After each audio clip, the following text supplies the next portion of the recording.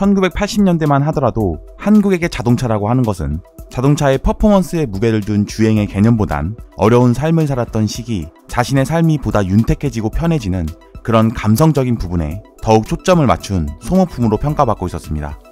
그러다 90년대로 넘어오면서 이런 자동차 문화도 서서히 변화를 겪어오게 되는데요.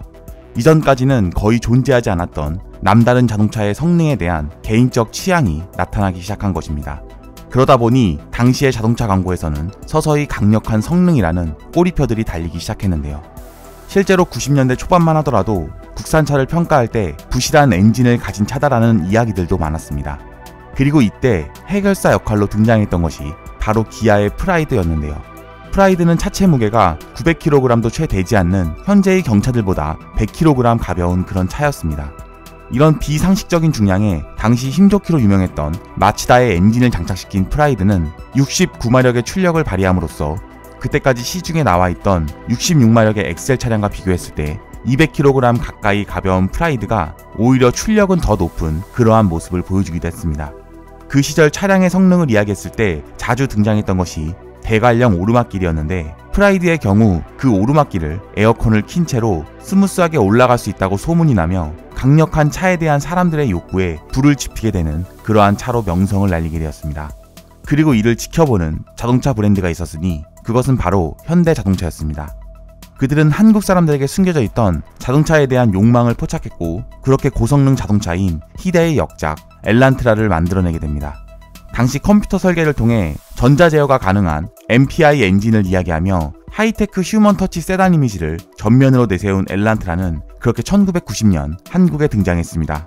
처음 이 차가 등장했을 때만 하더라도 사람들의 반응은 엑셀도 아니고 소나타도 아닌 차라는 식이 대부분이었는데요. 왜냐하면 그만큼 엘란트라의 위치가 굉장히 어중간했기 때문입니다. 엑셀처럼 싼 가격도 아니고 그렇다고 소나타처럼 큰 차도 아니었기에 중간에 있어 마치 계륵 같은 존재로 여겨졌던 것이었습니다. 그렇다 보니 당시 엘란트라의 광고 또한 이러한 의구점을 해소하기 위해 고성능에 완전히 초점을 두고 제작되었는데요. 독일의 아우토반에서 포르쉐 964를 따돌리는 장면을 보여준 것입니다.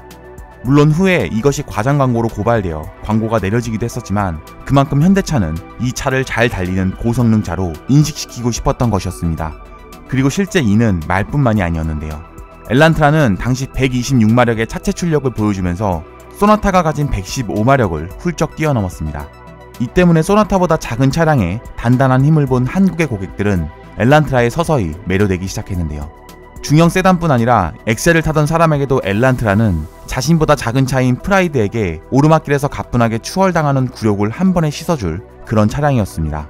그리고 그렇게 당시 기준으로 제로 111초, 최고 속도 180km라는 미친 성능을 보여주는 자동차로 사람들의 머릿속에 강력하게 각인되게 되었습니다. 하지만 당시 아쉽게도 이러한 고성능은 국내 자동차 시장에는 다소 맞지 않았던 부분도 있었는데요. 당시 엘란트라 1.6은 배기량으로 분류되는 세금 구조상 소형차의 기준인 1500cc를 뛰어넘는 1595cc의 배기량을 가지고 있어 이는 자동차를 구입하는 사람들에게 상당한 부담으로 자리 잡게 되었습니다. 그러다 보니 이런 한국 시장에 맞춰 고성능에서 약간의 다운그레이드를 거친 엘란트라 1.5를 내놓게 되었고 이를 주력으로 판매하기도 하는 상황이 벌어지게 되었습니다. 실제 당시에 우리나라 국민들 또한 수동 기어를 통해 천천히 1단부터 5단까지 단계적으로 속도를 높여나가는 운전을 기본처럼 해왔었는데 이런 상황에서 RPM이 매우 크게 치솟으며 튀어나가는 듯한 엘란트라의 움직임은 사람들에게 마치 엔진에 이상이 있는 듯한 이상한 불편함을 주게 되었고 실제 이를 판매하던 영업사원조차도 이러한 부분에서 고객들의 질문이 쇄도하자 엘란트라는 그냥 1.5만 타도 충분하실 거예요 라는 이야기가 많이 나오기도 했다고 합니다. 하지만 이런 상황에도 불구하고 현대차는 이런 시장에 순응하지 않고 고성능 차량이었던 엘란트라 1.6을 포기하지 않았습니다. 그리고 이에 따른 개발을 꾸준하게 이어나가게 되었는데요.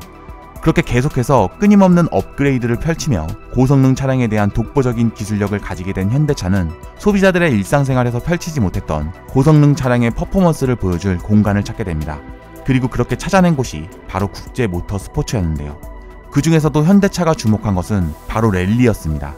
이는 F1과 같이 차량을 개조하여 양산형과는 거리가 다소 먼 퍼포먼스만을 극대화한 대회가 아니라 양산차의 규격을 유지하면서 성능까지 보여줘야 하는 랠리의 특성을 이용해 이를 보는 사람들로 하여금 현대차의 우수함을 알리기에 적합하다고 판단했기 때문입니다. 그리고 당연하게도 이 랠리의 주력차는 한국에서 제대로 고성능의 기지를 펼치지 못했던 엘란트라가 되었습니다. 그렇게 엘란트라는 랠리에서 엄청난 활약을 보여주었는데요. 그리고 이것을 해낸 드라이버가 바로 호주의 웨인 벨이라는 사람이었습니다.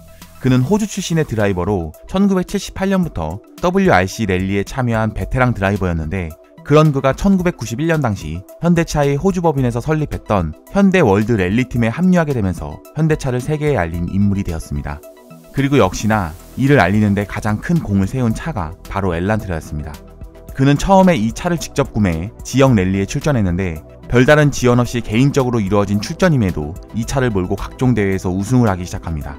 그렇게 1992년과 1993년 호주 랠리에서 클래스 우승을 차지하게 되면서 현대차는 첫 우승을 하게 되고 자신들의 가능성을 증명해내게 되는데요.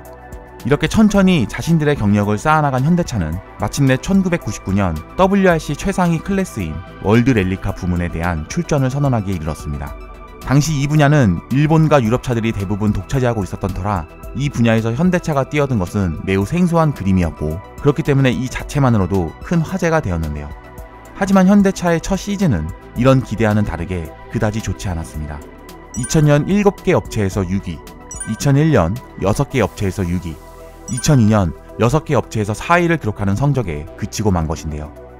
그렇게 패배의 쓴전을 마신 현대차는 제대로 된 정비를 통해 다시 도전하겠다는 계획을 가지고 월드 랠리카에서 물러났다가 10년의 세월이 흐른 뒤 복귀를 선언하게 됩니다. 그리고 돌아온 현대차는 달라져 있었습니다. 물론 바로 우승이라는 성과를 달성하지는 못했지만 상상된 기술력과 유능한 팀원들로 이루어진 그들은 그렇게 수년의 세월을 경쟁했고 마침내 2019년 WRC에서 사상 처음으로 제조사 부분 챔피언에 오르게 되는 기염을 토하게 됩니다. 1998년 WRC에 처음 도전한 지 21년 만의 일이며 2014년 현대 모터스포츠 법인을 세워 WRC에 복귀한 지 6년 만에 이뤄낸 캐거였습니다. 그러나 이에 대한 논란도 있었는데요. 당시 최종전이 취소됨에 따라 그때까지의 결과만 놓고 채점을 진행, 챔피언을 선정했었고 이것을 두고 탐탁치 않은 시선들이 존재했기 때문입니다. 하지만 며칠 전에 끝난 2020년 월드랠리 챔피언십에서 현대차는 제조사 부문 2년 연속 챔피언의 자리를 차지하며 이런 의심의 눈초리들을 완전히 벗겨내는 데 성공하게 됩니다. 올해 12월 3일부터 6일까지 4일간 이탈리아 몬자에서 열린 월드랠리 챔피언십 7개 라운드 중 3차례 우승을 차지한 현대차는 지난해의 찝찝함을 뒤로 한 채 완벽한 승리를 거두게 되었으며 이는 2016년 폭스바겐이 동일 제조사로 2년 연속으로 우승을 차지한 뒤 4년 만에 처음 있는 기록으로 평가받으며 그렇게 이탈리아에 애국가가 울려 퍼지는 감동을 선사하기도 했습니다. 최근 국산차들의 평가가 국내에서는 그리 좋지 않은 것이 사실입니다. 하지만 우리의 자동차 브랜드가 세계에서 이러한 성과를 거두는 것을 보면 한국의 기술력은 그 어디에도 뒤지지 않는다는 것을 다시 한번 느끼게 되기도 하는데요. 앞으로 이러한 한국만의 기술력들이 국내나 해외의 모든 소비자들에게 뛰어난 만족감을 전달하고 그렇게 한국의 자동차가 세계적인 브랜드로 거듭나기를 바라며 오늘 준비한 내용 여기서 마치겠습니다. 이상 세모반의 듬직한 리포터 진포터였습니다. 도움이 되셨다면 구독과 좋아요 부탁드리고요. 앞으로도 세상 모든 반응 채널에 많은 관심 부탁드립니다. 감사합니다.